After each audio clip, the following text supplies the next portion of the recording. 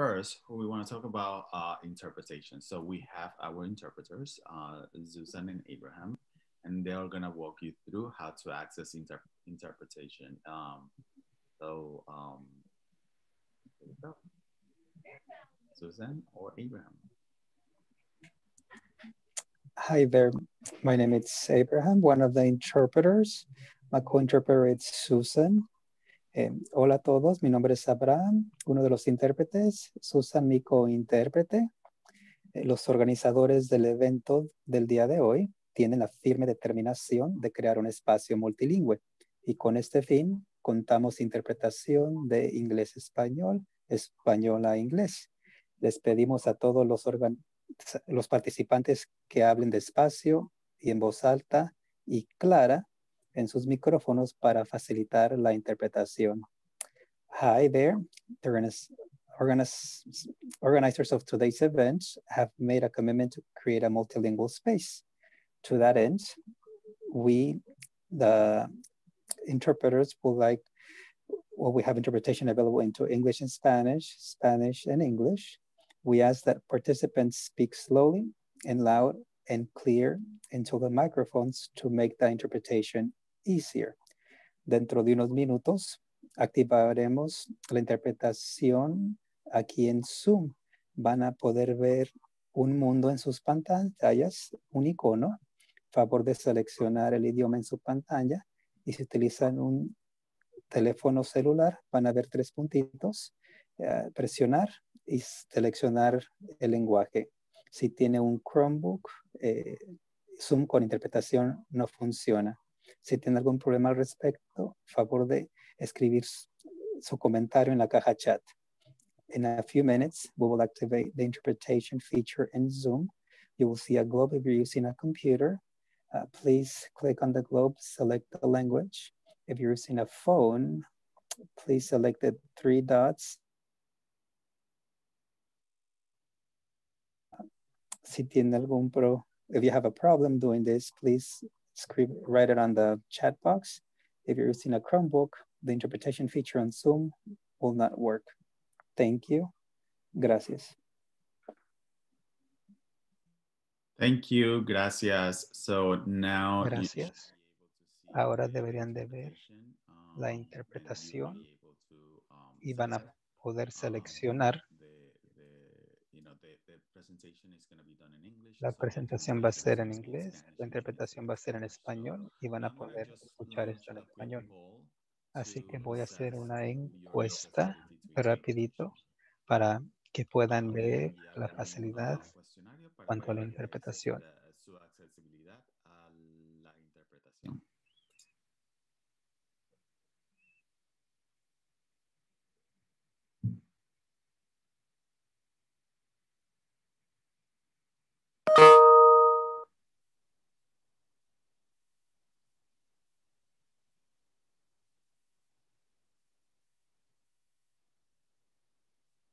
Okay. Muy bien. Um, we are on our way. So now, without further Así que sin esperar más, leave you with our uh, moderator Gabriela. les dejo con nuestra moderadora Gabriela. Hello, everyone, and thank you for joining us today. My name is Gracias por estar aquí el día de hoy. Mi nombre es Gabriela. Trabajo con Latino Commission on AIDS, HANS United Technical Assistance Program, ofreciendo los servicios en el sur. Soy codirectora del programa, monitoreando el aprendizaje y estoy el día de hoy muy entusiasmada de ser la moderadora para prevenir de la gente viviendo con el VIH presentando por Chandani Yagi favor, corrígeme si no mencioné tu nombre apropiadamente. Se lo paso a ella para que se presente y nos dé un poquito de su eh, historia para poder empezar. Hola a todos, mi nombre es Chandani Jackie y soy la que analiza la data de la Universidad del proyecto del AIDS Así que voy a presentar el día de hoy en cuanto a HVU para poder ver el impacto del VIH nacional y local y los recursos en HVU. En cuanto a las eh, operaciones problemáticas. Primero voy a empezar diciendo brevemente, voy a hablar en cuanto a la página web llamado aidsview.org. Todos tienen acceso a esta página web, es gratuita, aidsview.org. Si durante esta presentación tienen preguntas y no pueden hacerlas durante la sesión de preguntas y respuestas al final, pueden mandarlo un correo electrónico a, a aidsview.org cualquier pregunta que puedan tener, si están interesados en AidesView y quieren recibir más información en cuanto a la página web, favor de inscribirse en nuestra carta para recibir nuevos avisos. Primero, vamos a compartir información de lo que viene siendo AidesView. Como mencioné, AidesView es un mapa interactivo que se enfoca en el impacto de la epidemia del VIH en los Estados Unidos, que pide que los usuarios entiendan mejor la epidemia del VIH donde viven. Esto ha estado disponible por los últimos 10 años. Es un, se hace contra la Universidad de Emory, Public Health y las ciencias de Gilead. Trabajamos con enfermos y personas de alto rasgo en los estados. Se nos apoya tres grupos. Nuestro grupo de consejería, de prevención, tratamiento y comités.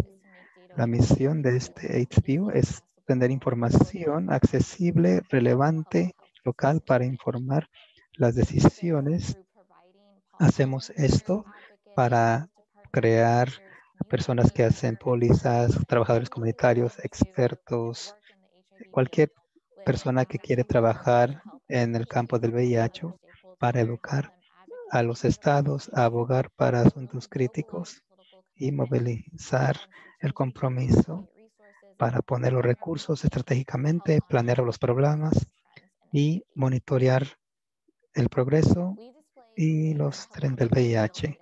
Ponemos la información más reciente pública a nivel ciudad, local y estatal para ayudar con las disparidades de la infección del VIH y mortalidad. Lo hacemos a través de las geografías y grupos demográficos. Este julio pasado pusimos el mapa del décimo año utilizando el del CDC a nivel local y estatal. Así que ahora presentamos el 2018 la información de mortalidad, eh, información, información de preparación y en el continuo en cuanto a la diagnosis tardados, eh, supresión viral, cuidado, atención del cuidado, todo es a través de las geografías y a través de diferentes grupos demográficos, edad, eh, sexo, raza. También pusimos este año mapas según los códigos postales, desde el este al oeste, norte, sur, todo. También ayudamos información del VIH de continuo en cuanto a estas ciudades para ayudar a ilustrar el impacto de la epidemia en las ciudades y los vecindarios en un nivel demográfico. Para ser efecto, efectivo, tratar de ayudar con las pólizas y intervenciones de programas. A final del día, lo que estamos tratando de hacer es ayudar a la gente que entienda el VIH donde vivan. Es una herramienta y recurso que esperemos que les ayude a hacer esto. Al siguiente vamos a hablar en cuanto al mapa. Viene siendo eh, nuestro enfoque principal de la página web, presentarle a la gente, a ustedes, entiendan el VIH. En el sitio web tenemos mapas disponibles a nivel estatal de condado y de ciudad. Aquí se ven las prevalencias de VIH en 2018 en Texas a nivel del estado, nivel de condado y nivel de código postal en Houston. Y al ver en más detalle a nivel geográfico, el color más fuerte quiere decir mayor prevalencia y el color menos fuerte quiere decir que la prevalencia es menos. Pero entonces a nivel estatal parece que hay una prevalencia muy alta, pero al desglosarlo más, se ve que hay diferencias y hay lugares donde hay más impacto y de menos impacto. Y eso puede ayudar a orientar recursos hacia el este y sur de Texas. Y viendo únicamente los condados alrededor de Houston se pueden ver las diferencias en la ciudad, que ayuda mucho para planificar el uso de recursos y orientar sus programas donde más se necesitan. También tenemos disponibles eh, Además de prevalencia, tenemos datos sobre nuevos diagnósticos y aquí se muestran datos de 2018 en cuanto a prevalencia y nuevos diagnósticos de 2014 a 2018. Eh, los mapas a nivel de código postal se pueden desglosar también por raza, grupo etario y sexo. Y vamos a hablar más sobre esto a continuación. También se puede trasladar, traslapar en los mapas sitios para prevención de VIH y donde se encuentran los servicios a nivel de ciudad, condado y estado. Estos mapas también nos ayudan a ver nuevos diagnósticos, también diagnósticos tardíos y otros grupos por nivel de código postal. Aquí vemos el desglose por raza, edad y sexo en Houston. Aquí se ve el desglose por raza entre personas blancas, latinex y negras. En el mapa en el centro, que muestra la tasa de personas hispanas viviendo con VIH, se notan las diferencias en diferentes lugares de la ciudad y se nota que la carga es mucho más alta en ciertos sectores de la ciudad y así pueden ayudar estos mapas para notar dónde hay más necesidad para enfocar programas. Y esto también nos ayuda eh, a ver a nivel estatal diferentes indicadores. También contamos con tasas de prevalencia por edad y se nota la diferencia en los diferentes grupos etarios Em, entre el grupo de 13 a 24 años de edad, 25 a 44, 45 a 59 y mayores de 60 años. También tenemos eh, estos desgloses disponibles a nivel de condado y ciudad y para diferentes indicadores a nivel de estado. A nivel de ciudad podemos estratificar los datos por sexo, hombres y mujeres. Aquí ah, la diferencia es muy llamativa. Eh, aquí hay una diferencia clara. La carga es mucho más alta en la ciudad entre hombres y la estratificación por sexo también está disponible a nivel de condado y estado.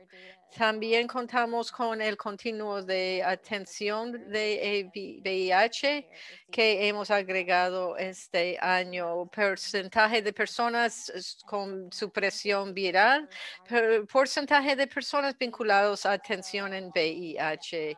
También estaremos, vamos a estar lanzando hoy o mañana mañana los indicadores del continuo de atención a nivel estatal. Pueden eh, suscribir a nuestro boletín para saber las últimas noticias. Ahora, a nivel de condado, contamos con mapas a nivel de condado, aquí mostrando en Texas sobre tasas de prevalencia a la isla izquierda y casos en la derecha para Texas en 2018. Se pueden estratificar por raza, sexo y edad y también por categoría de transmisión. Y voy a hablar sobre eso a continuación. Y también se puede mapear en cuanto a los determinantes sociales de la salud. También contamos con nuevos diagnósticos, tasas y casos. Estas son las tasas de personas con nuevo diagnóstico a la eh, izquierda y personas viviendo con VIH nuevamente diagnosticado en 2018 a la derecha. Se puede estratificar también por año desde 2008 hasta 2018, lo cual ayuda mucho para identificar tendencias y cambios en tendencias a lo largo de los años incluidos. También Contamos con prevalencia por categoría de transmisión. Se muestran cuatro de los cinco categorías. Aquí tenemos prevalencia de contacto sexual entre hombres, eh, de uso de ah, drogas por inyección, uh, contacto sexual uso de drogas y contacto heterosexual. También eh, hay la quinta categoría, está disponible a nivel estatal. También a nivel estatal contamos con otros indicadores, contamos con más datos a nivel estatal que los otros niveles. Eh, personas viviendo con VIH, uso de PrEP, eh, pruebas de VIH, o sea, el porcentaje de personas que se han realizado la prueba de VIH en cada estado. También contamos con las estratificaciones de rigor, sexo, raza y edad. Y también a nivel de estado se puede hacer una estratificación doble y podemos ver la tasa, por ejemplo, la tasa entre hombres hispanos o prevalencia entre hombres hispanos que tienen sexo con hombres. Entonces hay diferentes tipos de estratificación que se puede realizar para ver quiénes eh, son impactados.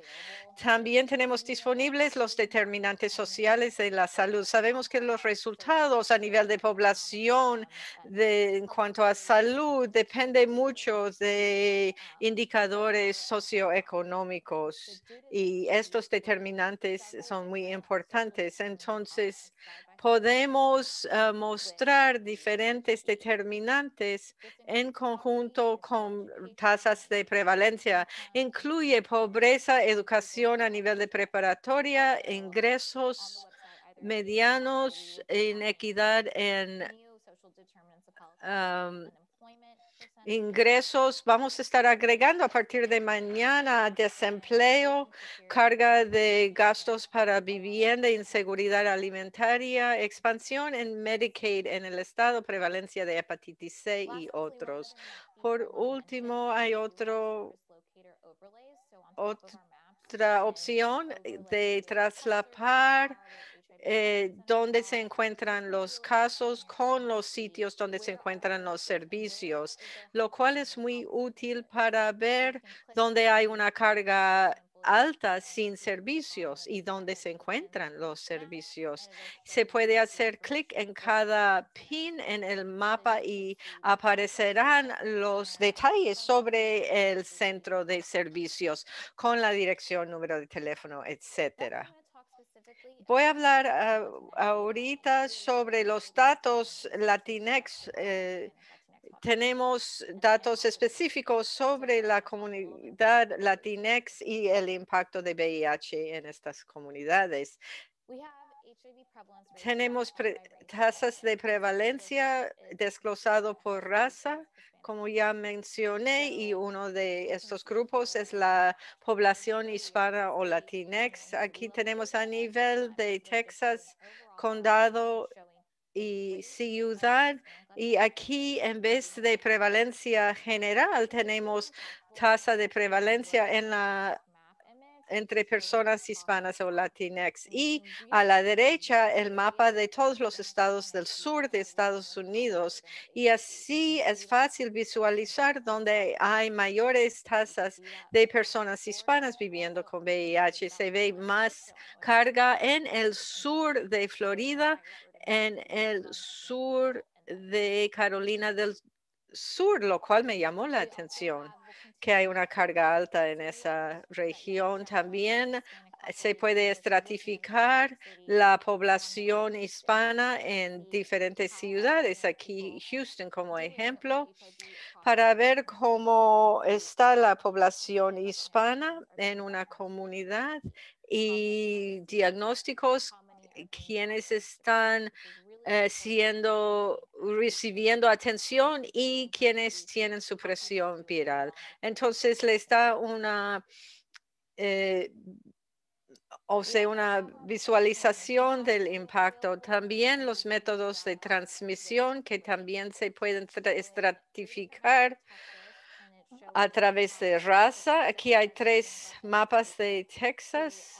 El porcentaje de personas latinex que tienen VIH eh, atribuido a tres categorías diferentes, o sea, uso de drogas por inyección, contacto sexual entre hombres y contacto heterosexual. También reconocemos los días de concientización y uno que reconocemos todos los años es el día de concientización de VIH-Sida en la comunidad latina a nivel nacional. Y siempre distribuimos eh, datos interesantes. También compartimos blogs con entrevistas con diferentes personas, por ejemplo, Guillermo Chacón eh, sobre VIH en la comunidad latinex con Luis Mares y Judith Montenegro, todos de la Comisión Latina sobre el SIDA. Y estas entrevistas están disponibles en inglés y en español. También las infográficas están en inglés y en español y se pueden bajar y están disponibles abiertamente y en forma gratuita para cualquier persona. Y estas son algunas de las gráficas que sacamos en octubre para reconocer el día de VIH y encontramos algunas cuestiones interesantes. En 2018, la comunidad hispana representaba el 18% de la población estadounidense pero el 27% de los recién diagnosticados con el VIH. Entonces, aquí se nota la gran carga de la enfermedad en la comunidad hispana. También encontramos que el 40% de personas hispanas se han realizado la prueba. Los CDC recomienda que casi todo el mundo se realiza la prueba por lo menos una vez en la vida, pero aquí vemos que solo el 47% han recibido la prueba. Y también a pesar de los esfuerzos de aumentar las, el número de pruebas, la comunidad hispana tiene la proporción más alta de personas con diagnósticos tardíos. Y esto es muy importante porque un diagnóstico tardío de VIH o SIDA afecta los resultados. Es muy importante que los diagnósticos sean lo más oportuno y tempranamente posible. También encontramos que la comunidad hispana tiene menor nivel de supresión viral comparado con la población blanca donde el 71% tienen supresión. Y esto es muy importante porque la falta de supresión viral impacta el nivel de vida y también aumenta la posibilidad de transmisión a su pareja sexual. Otra cosa interesante que encontramos entre 2008 a 2018, VIH en la población hispana entre hombres y mujeres se expresa entre las mujeres el porcentaje de diagnósticos bajó en un 35% en estos 10 años de aproximadamente 2.000 diagnósticos nuevos en 2008 hasta 1.200 en 2018. En este mismo periodo de 11 años, vimos un aumento de 2% en los hombres hispanos de casi 9.000 de 8.809 a 8.972, lo cual indica la necesidad de contar con mayores recursos eh, dirigidos hacia la prevención. Específicamente queremos ver este aumento en los hombres latinos, así que vimos específicamente que hombres gay y bisexuales es el 75% que son diagnosticados nuevamente con los hispanos, así que ellos son los que llevan la carga con este VIH. También vimos cuando se dividió esto según la edad y vimos que todos diferentes tipos de edades se aumentó.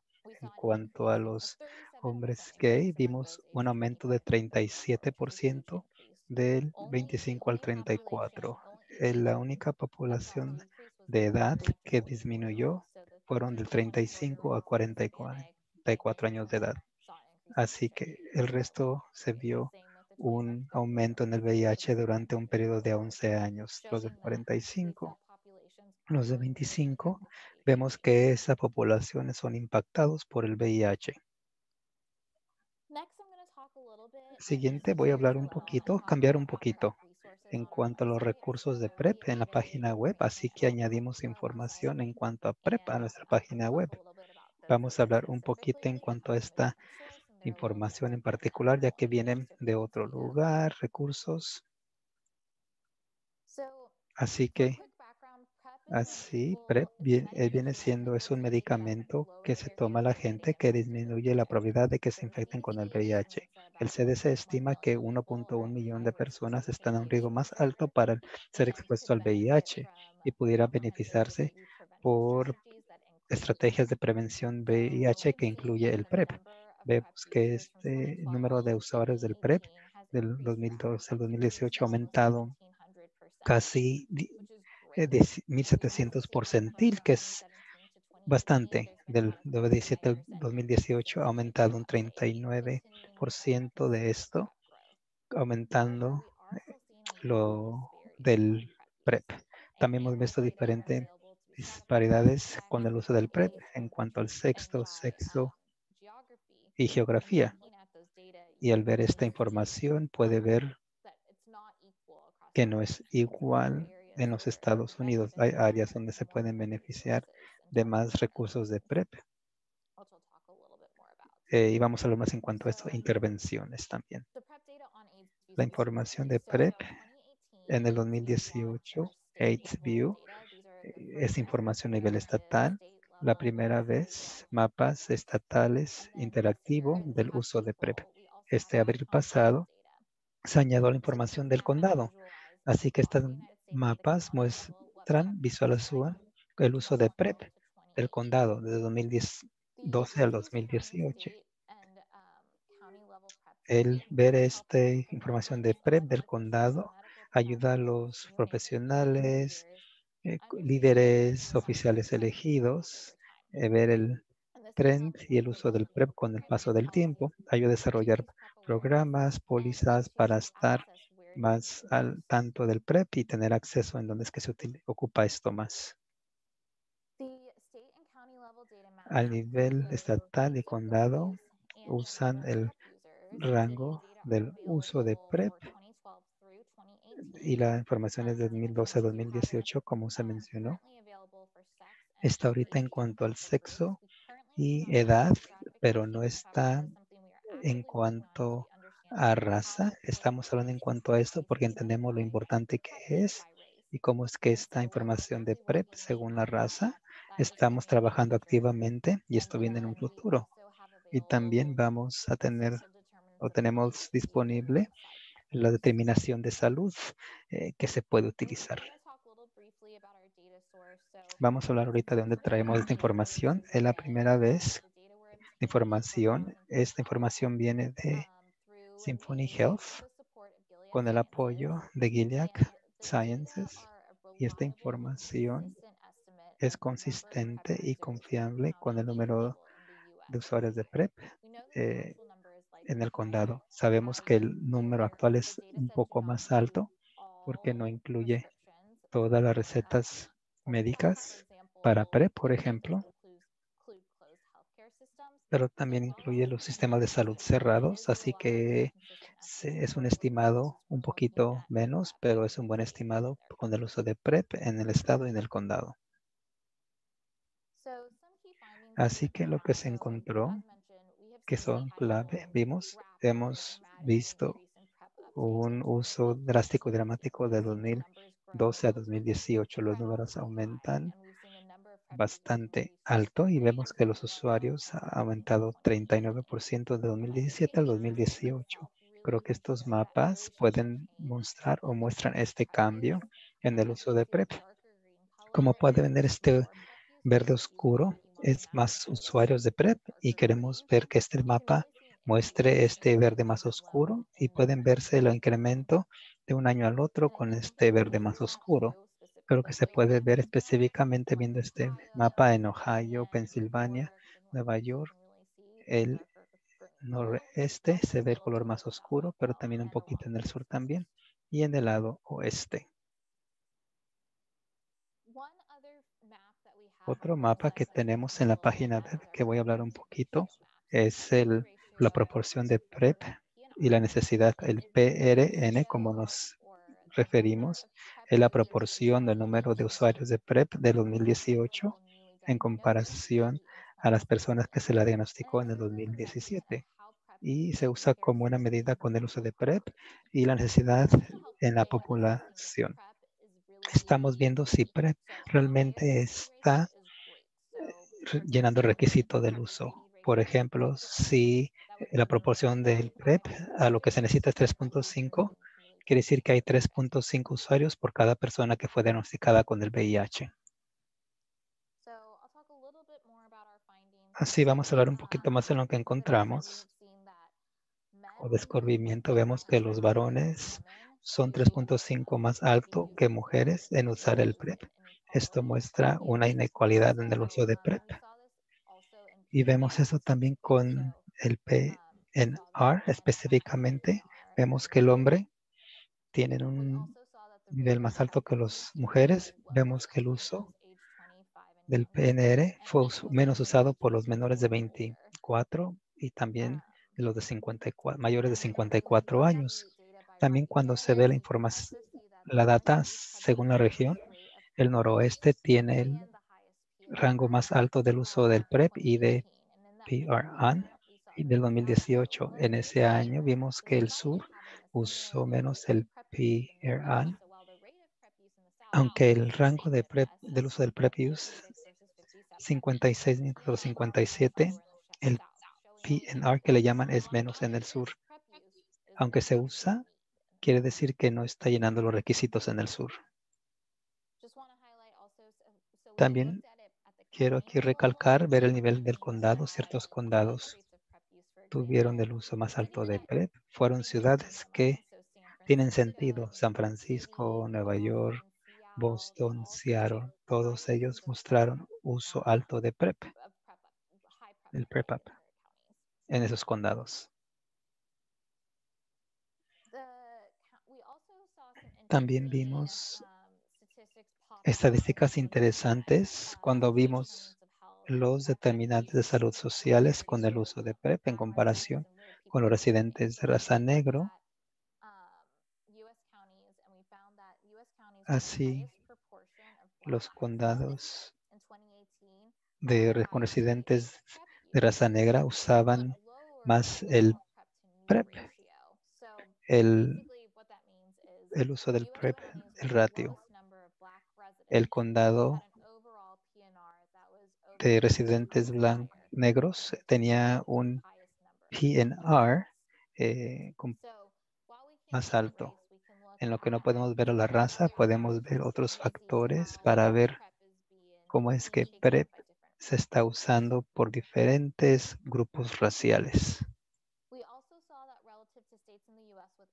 Vemos también los estados que no expandieron el Medicaid o programas de asistencia con el profilaxis.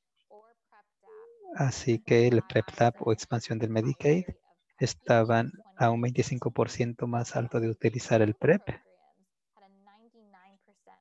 Tenía un porcentil 99 del uso. Muestra la importancia de la expansión del Medicaid cuando se encarga, se enfoca en el PrEP También vemos en cuanto a los condados de disparidades de EAG a, través de los 48 condados que se enfocaron para tratar de terminar esta epidemia de VIH. Hay condados que tienen el uso del PrEP, que es bastante alto, y también hay disparidades y hay trabajo para seguir creciendo.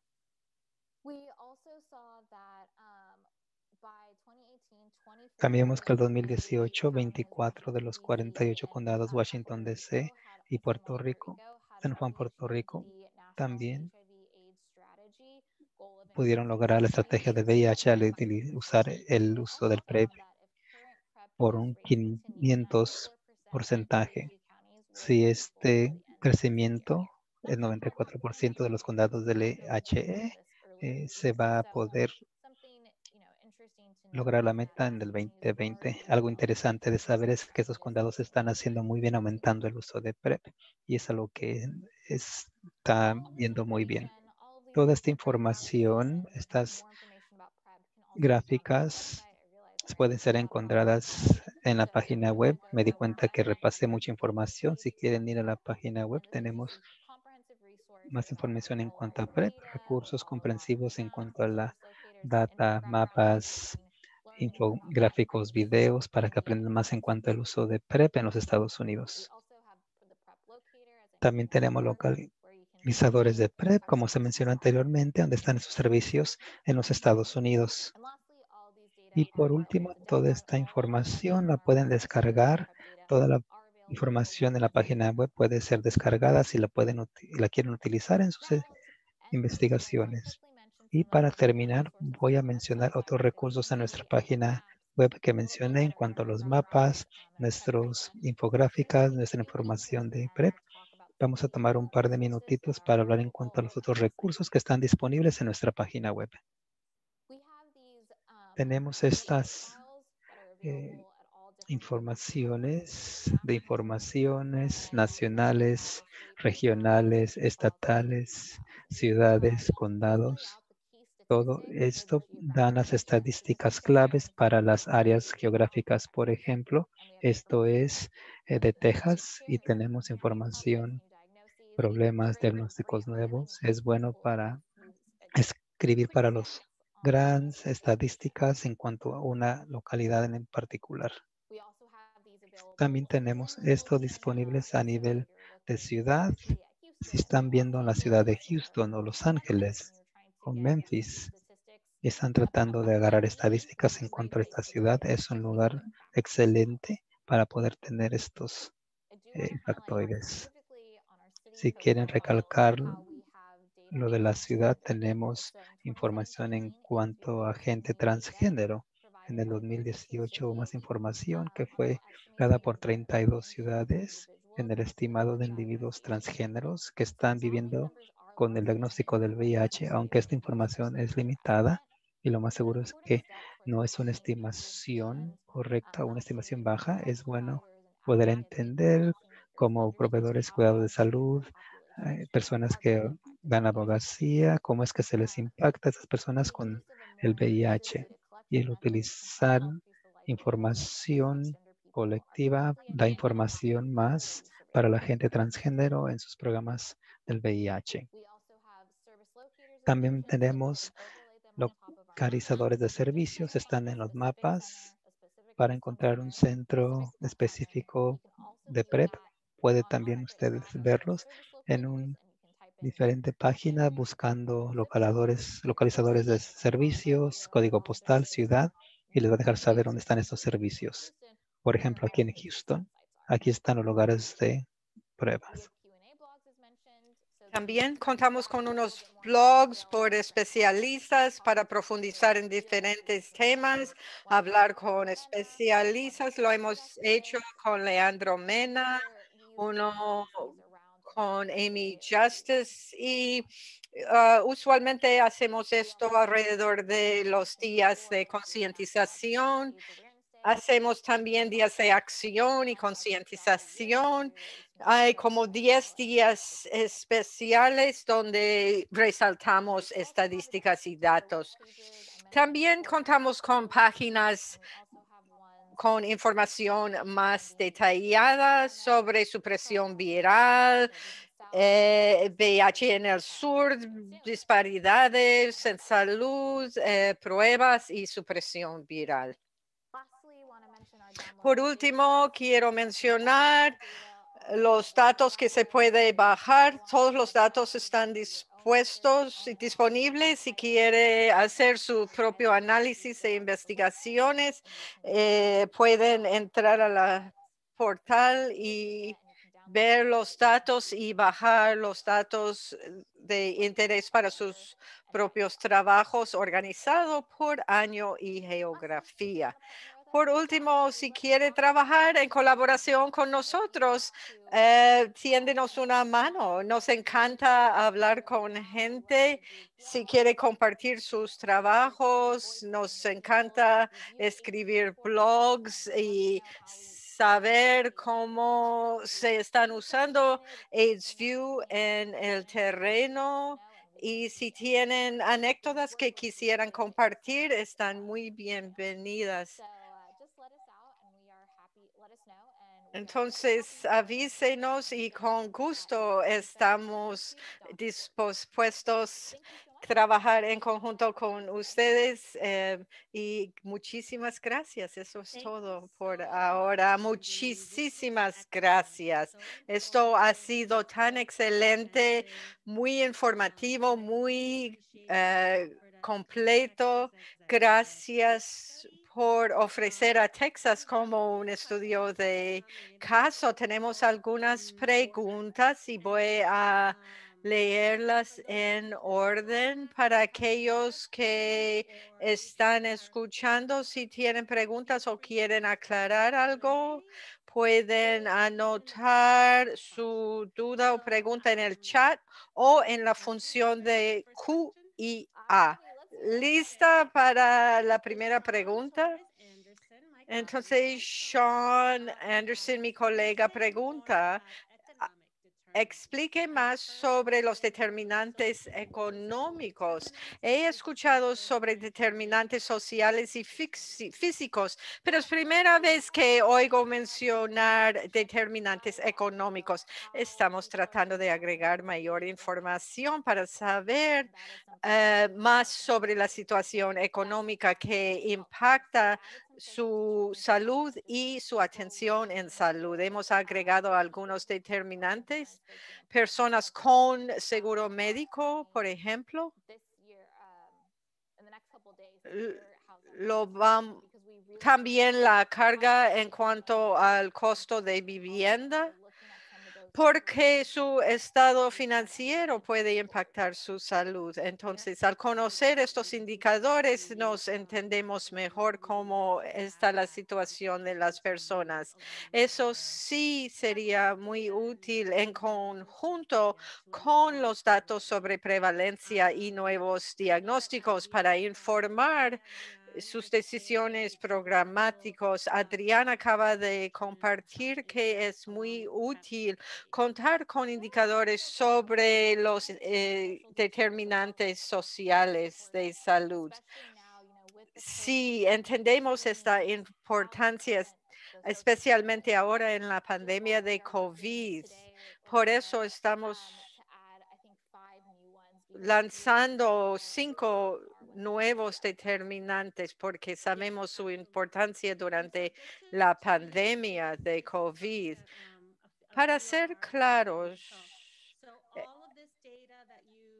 todos estos datos están disponibles libremente y gratuitamente en el sitio web de AIDSView. Sí, así es. No hay necesidad de crear una cuenta de uso ni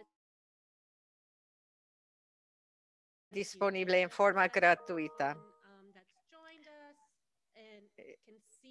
Para que todo el mundo pueda ver en el chat Alicia puso un link donde se encuentran eh, estos recursos. Daniela pregunta o tiene una sugerencia. ¿Hay algún esfuerzo para que todos los datos reflejen todas las orientaciones sexuales y todas las identidades de género de aquí hacia adelante? Yo creo que las comparaciones entre hombre y mujer ya se están volviendo obsoletos porque estamos aprendiendo que somos muy diversos en todos aspectos. Sí, es importantísimo y reconocemos y apreciamos la evolución en este tema y que no solo es hombre y mujer y los impactos en las personas trans y no binaria es muy diferente. Y estamos agregando indicadores, eh, pero no es suficiente hasta la fecha y estamos trabajando con partes interesadas para agregar más categorías. Eh, pero desafortunadamente hay una falta de datos confiables en los diferentes estados y seguimos trabajando y los CDG siguen trabajando y ellos acaban de publicar un desglose por eh, orientación de género. Y creo que es muy importante seguir agregando estos datos y aunque lo hagamos, eh, siempre sabemos que estamos subestimando estas categorías. Esto se conlleva a una pregunta mía sobre las subestimaciones. ¿Cuáles son algunas reglas de oro para personas no tan cómodos con el uso de estadísticas o que tienen tiempo de no hacer trabajo estadístico o este tipo de mapeo cuando eh, interpretamos datos basados en estimados. ¿Cuáles serían unas sugerencias? especialmente relacionado con el uso de PrEP. Todos estos datos son estimados. Siempre hay que agregar esta palabra que no son números absolutos, no son datos de vigilancia epidemiológica y mantener esa palabra en cada declaración que hace es de suma importancia para que sepan que son números estimados o calculado y probablemente el verdadero cifra es un poquito mayor y no sabemos la diferencia. No se puede decir que se puede agregar tal porcentaje, pero hay que reconocer que los números reales o los porcentajes reales serán un poco mayor que los datos que estamos presentando. Es muy clave para los que nos visitan hoy que siempre hay limitaciones en los datos y por ende limitantes en sus interpretaciones de los datos. Tenemos una pregunta de Pamela McFarland. ¿Ustedes estratifican por tipo de seguro médico, o sea, seguro público como Medicaid o y seguro privado. No, no estamos haciendo eso, pero es una excelente sugerencia. Voy a hablar con mis colegas para ver si se puede presentar los datos de vigilancia de esta manera. No sé si se colectan datos de forma uniforme eh, sobre el tipo de seguro, pero es una sugerencia excelente. Sé que faltan únicamente cinco minutos. Hay una pregunta de Sean. ¿Podrías explicar por qué solo tienen datos hasta el 2018?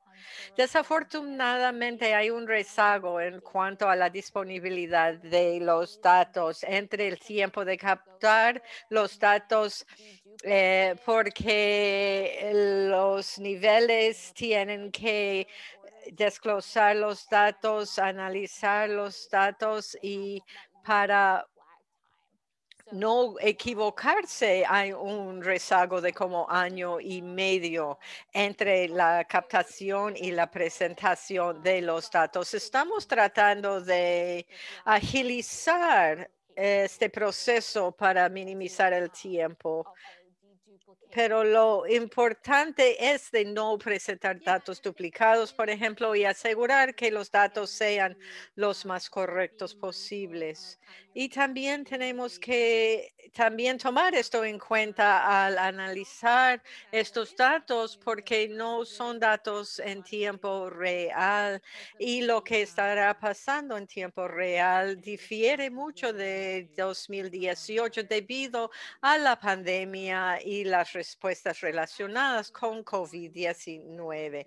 Yo tengo otra pregunta la cual es para personas interesadas en aprovechar a AIDSView como herramienta y los datos relacionados con nuevos diagnósticos, con prevalencia, con PrEP, y están agregando diferentes niveles, condados, ciudad, tal vez estado. ¿Cuáles son algunas cosas que las personas que no tienen mucha experiencia con estadísticas o no es su enfoque primario en su trabajo.